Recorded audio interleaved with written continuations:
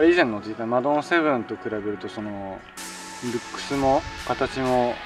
ガラッとやっぱり雰囲気が変わったイメージがすごい強くて。マドン7もすごいエアロに特化したバイクだったんですけど特にこのマドン9は本当に戦闘機のようなフォルムでアイソスピードも搭載していてシッティングしてトルクをかけて走ることができて本当にスピードが乗った時に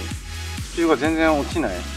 どんどんどんどん加速していくっていうのがすごい印象的なバイクです。で普段あのレースシーンで下りを走ってる最中はブレーキしながら下らないと加速してってしまって前の選手に接触しそうになるぐらいあの加速するんですね。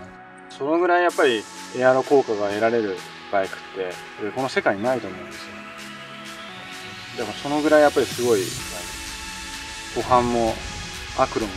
全て走ることが可能でエアロバイクの中でもやっぱりすごい軽量バイクになっていて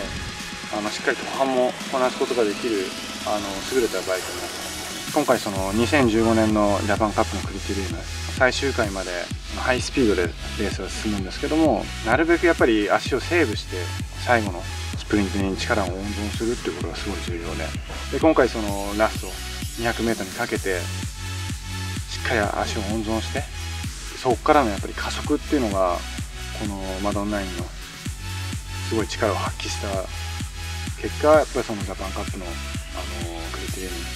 優勝することができました。それぐらいやっぱりあの加速力力をセーブする力